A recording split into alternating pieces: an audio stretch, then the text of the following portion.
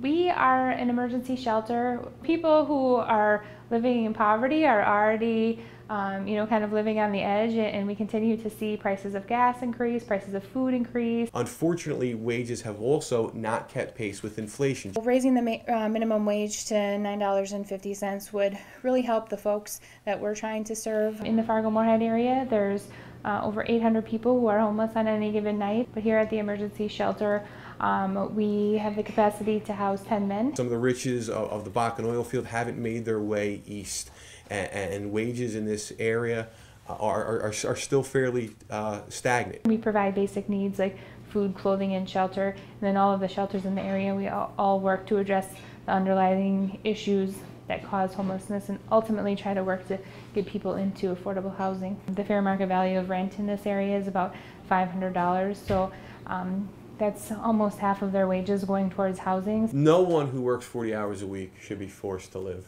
in poverty.